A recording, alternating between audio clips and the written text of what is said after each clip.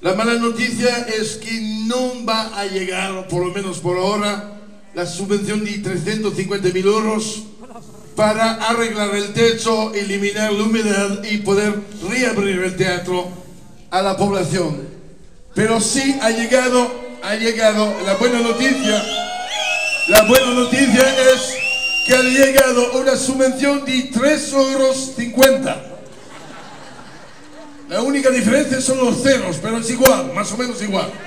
Y con 3,50 euros he podido comprar del aceite para las bisagras de la puerta. Esto nos va a permitir abrir las puertas, pero inmediatamente después cerrarla otra vez. Eh, esperando mejores momentos económicos o un alto gobierno gallego.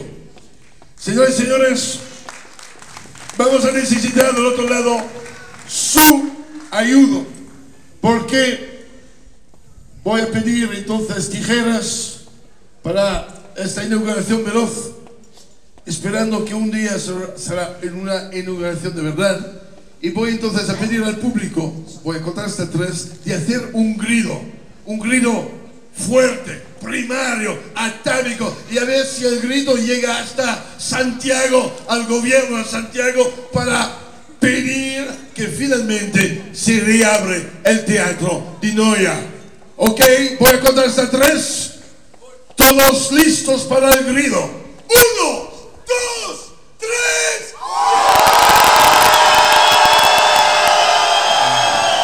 Tijeras, por favor.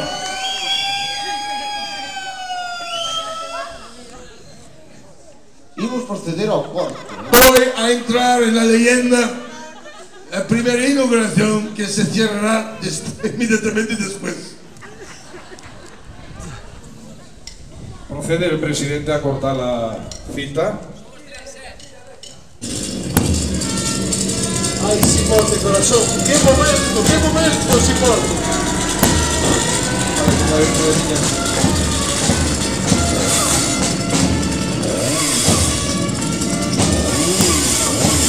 Estamos hasta el caso de cuarto milenio.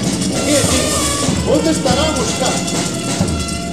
Sí, señor, venga engrasado. Ha sido inaugurado. Ha sido inaugurado.